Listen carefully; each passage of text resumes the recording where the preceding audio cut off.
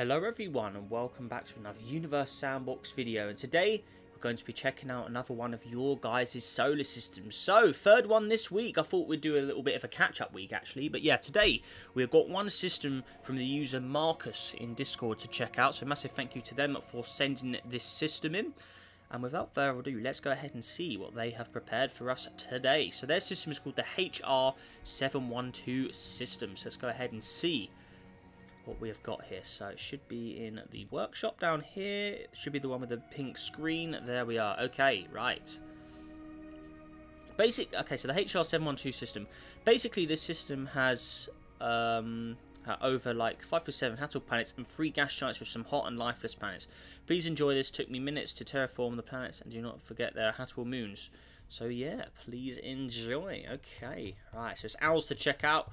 Oh, wowee. Okay, so the star itself, as we can see here, larger than the sun in mass and radius, 33 luminosity, so yeah, that's uh, pretty much uh, pretty, pretty bright there.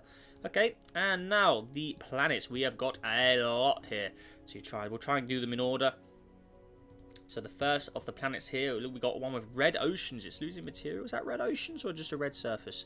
I think it's just a red... Oh, it's clouds. All right. Oh, I do like that. Okay, so that one's losing a lot of material there tilted on its side as well, if you look carefully. Look, it is. Well, it looks, yeah. Cool. Okay. I do like that. It's got like a massive crater there as well. Look at that. So smacked it on its side. Okay, so there's the first of the planets. Next up, we have got... I'm just going to put a trail colour so we know we've been there. There we go. Okay, so second, we have got this one down here. This is a more nice purple one, looking a lot more friendly looking. Got some oceans on it as well. Nice mix of ocean and land there. Very, very nice indeed. So there is that one. Looking good. It's got one moon as well down here. Okay. So now we're taking the jump to the next object out, which I believe should be this one. So we've got Fluoris over here. So there we go. No oceans to see. Got some nice orange clouds on it though. Okay. Looking good. Okay, so moving up. So we've got... Oh, we missed this one. Let's do this one as well. So another one with a nice purple uh, look to it as well. Little look underneath. Got some city lights to boot as well. Nice blue clouds. Very exotic shades here. I'm liking it. It's also got some moons at Hatterpool as well, like he said. Looking good there. We've got Curio over here. Nice.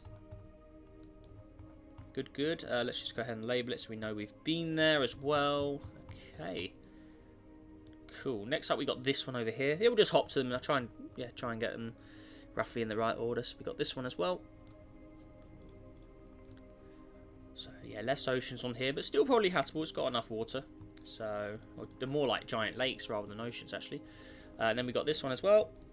Another habitable moon. So a very highly habitable system here. Loads and loads of uh, world. I mean, pretty crazy stuff. Okay, then we got this one as well. So Minasa over here.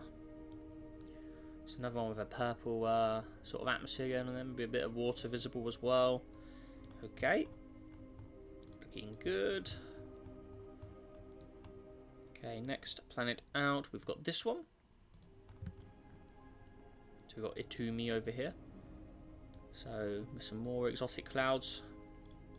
Got some more oceans to boot with it as well. Very rocky looking, isn't it? Ooh. Okay. So that's definitely a world that could probably do some terraforming in there to get some more greenery going. But yeah, there we are. Or maybe it doesn't need, maybe it doesn't have greenery. Maybe its plants are brownish colours. Who knows? So there we go. Okay. Uh, next up we have got this one here. Logorcus. So these planets are all quite similar in visuals, aren't they? You can see, starting to see a pattern with like little patches of water and then a, a, a rough looking surface. So there we are. It's also got one moon with it as well. Okay. Cool, cool. So this is like the ultimate terraform system. There's so many uh, good looking planets in here that have habitable conditions. Oh, this one's cool. Got a greener one here. Oh, yeah. Okay, look underneath there. Nice patches of uh, lakes on there as well. Nice green atmosphere to go with it. Also got some moons. Okay, so we've got one here, then we've got Akam as well over there. Looking good. Okay, we'll quickly mark this one as done as well. There we go. Okay, so we've also got this one here. Orion. So another brownish looking one with a yellow uh, clouds on it. Got some craters as well. a Bit roughed up that one has been. Okay. Cool, cool. Okay, so we still got loads in here. Are they, all these customized? Oh no, we got some asteroids. Okay. Okay, let's just keep clicking them until we see a planet. So it looks like we've just got a giant asteroid belt of objects here. Look, they've all just been clicked and placed in by the looks of it. So I'm assuming, yeah, I think all these are asteroids if we just look here. Yeah, definitely. So these are all asteroids. Okay, so the next planet is this one here, because it's been custom named as well. Okay, so we got what looks to be a brown dwarf here. 58 masses of Jupiter, 2 in radius. Yes, definitely a brown dwarf. Okay, looking good there. Alright, moving on. We got Litat over here, another gas giant, chilling on the edges of the system.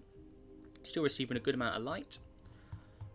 And then lastly, we've got Wasp 169B over here in a really cool looking green shade tilted on its side as well. Okay.